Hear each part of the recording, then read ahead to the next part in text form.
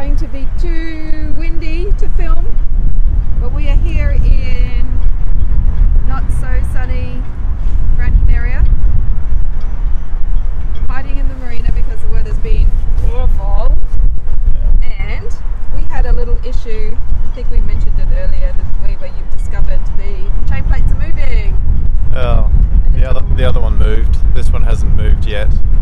But um, yeah, the it's a something that's been happening on the boat for a very long time, and because I've only just sealed up the deck plate with the chain plate uh, not so long ago, um, it's very visual that it's happened.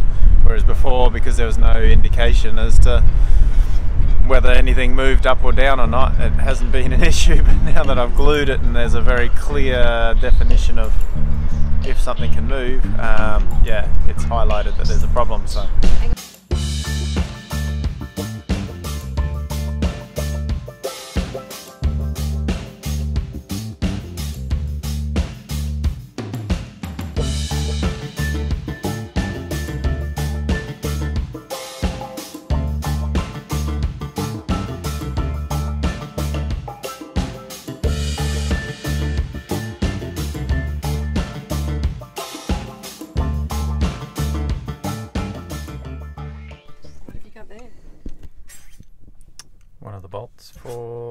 Chain plate, uh, which is a little disappointing because um, it's a fully threaded bolt and not a shanked bolt.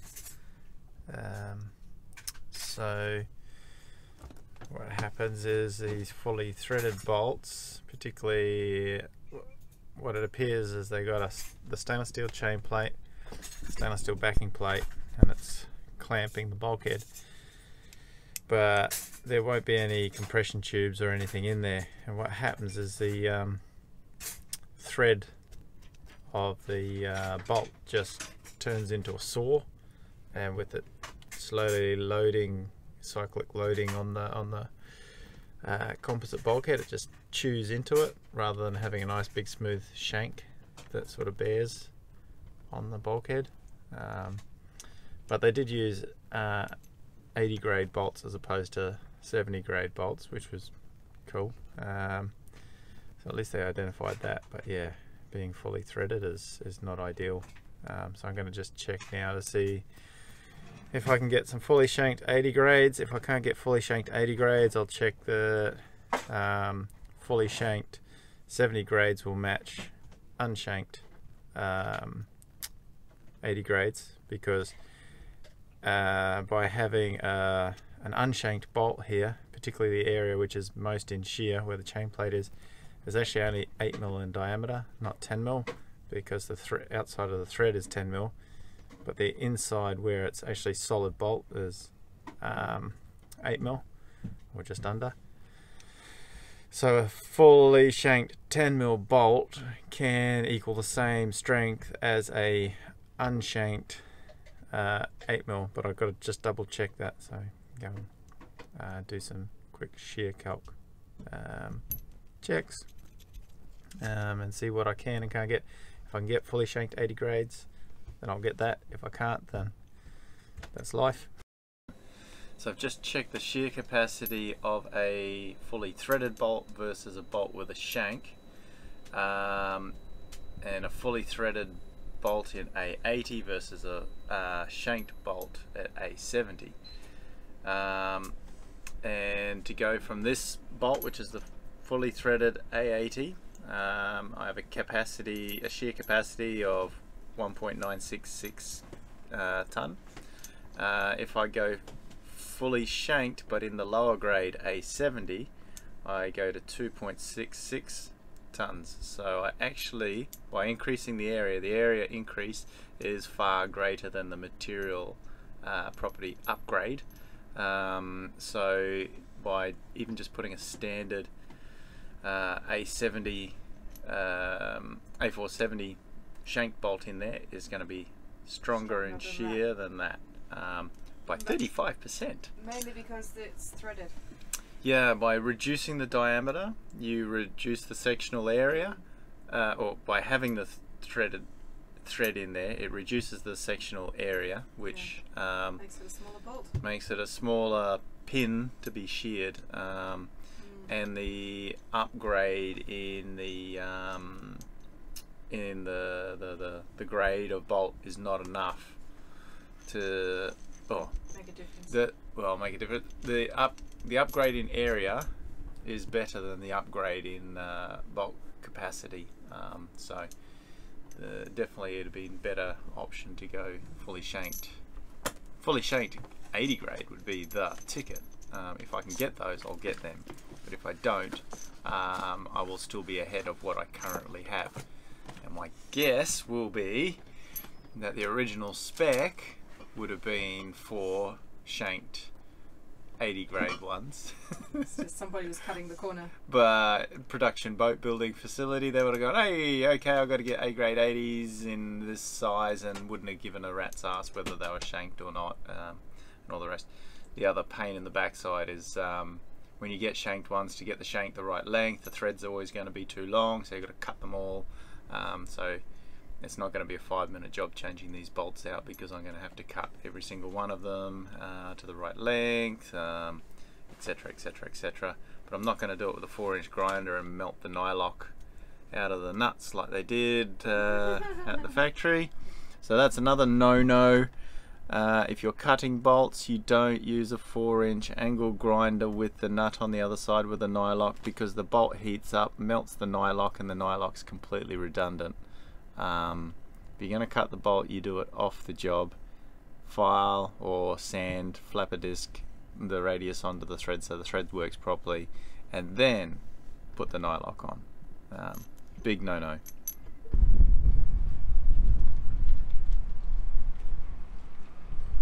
But I'm gonna um, take some rig tension out so that um, when I remove the bolts inside, stuff ain't gonna want to rip a chain plate out.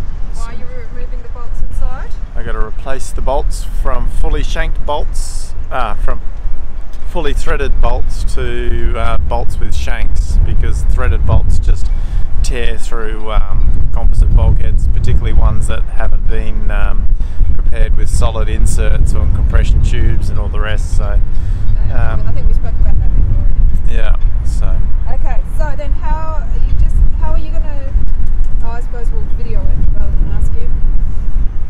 Say how are we gonna hold it in place while we change over the bolts. Oh, ah, I just do it one bolt at a time. It's pretty easy. Just want to deload it.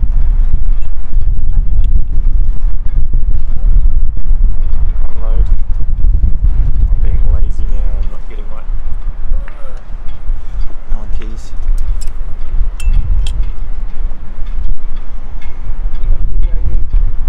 Getting rough as guts.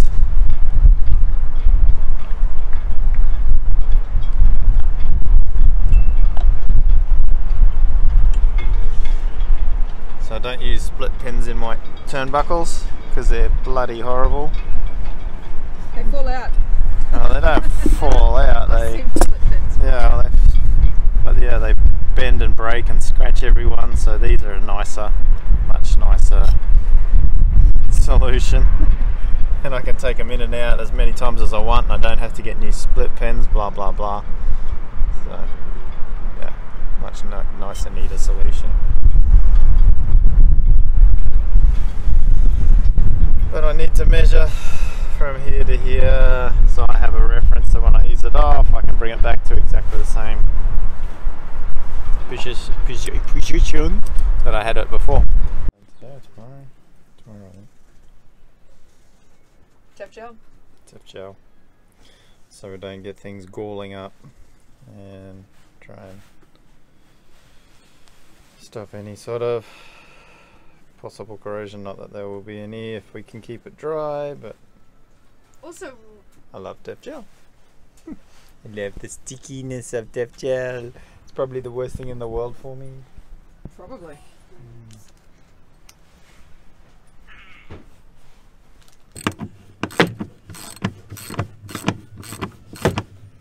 So you've loosened off the stays of it, and now you're just going to replace it bolt by bolt. Yep.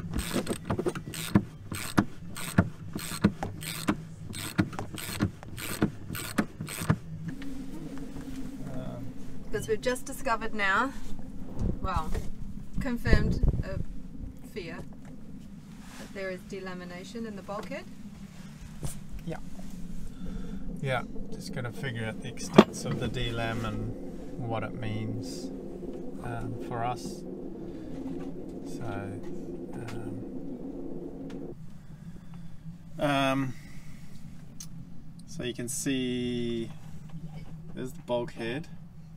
Then there's this funny line through here, and that's actually where it's delaminated. Uh, and it's actually dust and dirt that's got between it behind the glass and settled in behind the glass and the foam. Um, this isn't the chain plate, this is actually the stainless steel backing plate that is on the other side of the chain plate and that's actually clamping it together.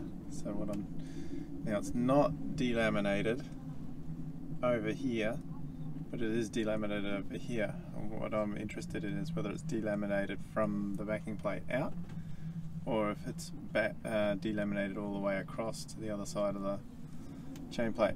Um, so it's actually been like this for a very, very long time, um, and I've only just discovered it, and we've done what 7,000 miles um, with it like this. On the other side here, uh, it's you can just see that's the line of delam there. Uh, it's this is actually a Kevlar patch that they put in, so I'm not worried about the chain plate actually tearing out because for it to tear out through the Kevlar is not impossible, but it's certainly very, very difficult. That's one of the beauties. One of the only good things about Kevlar is, is um, in shear tearing. Um, it's strong as hell, um, so it's not going to tear it out. Um, but if we can't keep the skins all in column, um, it gets really ugly really fast. But um, so I'm replacing the bolts. That's how I made this discovery. And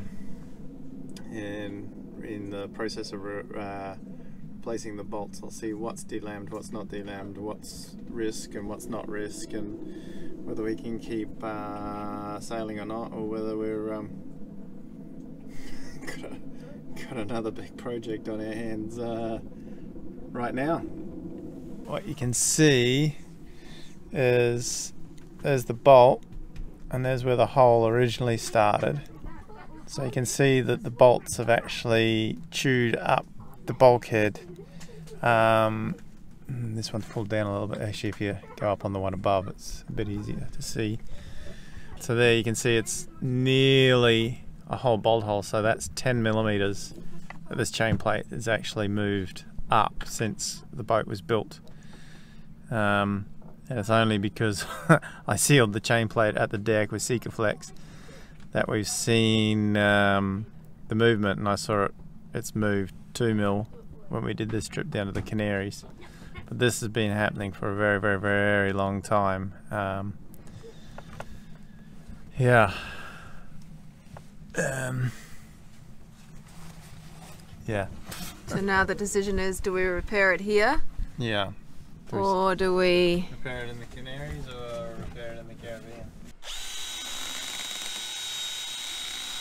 You can see where, is there a point where the Sikaflex has moved?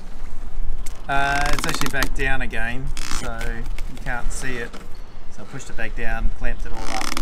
Um, but I'm going to redo the Sika bead so that if it does move again, we'll be able to see it quite clearly. Right, because we're, after all of that decision making over the last couple of days, we've decided to go anyway, haven't we? Yeah. And what was your thoughts behind that? Why is it not as risky as you originally thought? Um, well, one, it, it's actually been like that for quite a very long time. Uh, there's some gooder English. Um, so. That doesn't mean it's not going to ever fall down though. No. It just might mean you're running out of time. I am running out of time. But um, the state it was in when I first saw it was not great in regards to the bolts. So the bolts were fully threaded, they were loose, so it was like, well, of course it's gonna move. Um, so I've dealt with the bolts so they've up, been an upgrade. Um, and um, so I've bolted it all back together and it's all together nice and firm. So Yeah, but there's still there is, it's not a broken bulkhead, there is a, the bulkhead where the plywood was, the plywood's gone all rotten. The skins are still pretty much intact and that's, that's the important part is the skins. Ah. And by putting the shanked bolts in there, the shanked bolts aren't going to saw through the composite like they were before. Right. So if you were watching this on YouTube and you've got rotten plywood in your chain plate area, Yeah. do you think people should do what you're doing and ignore it and go? No.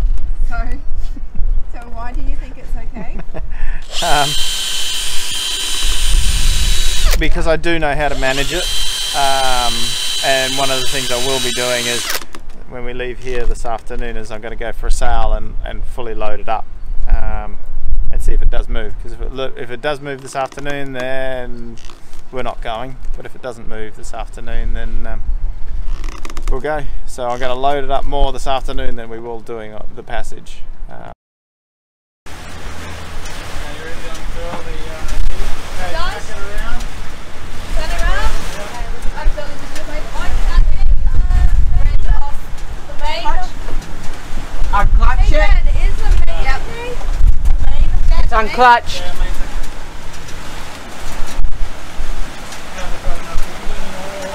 Slowly coming up. Alright, pull through.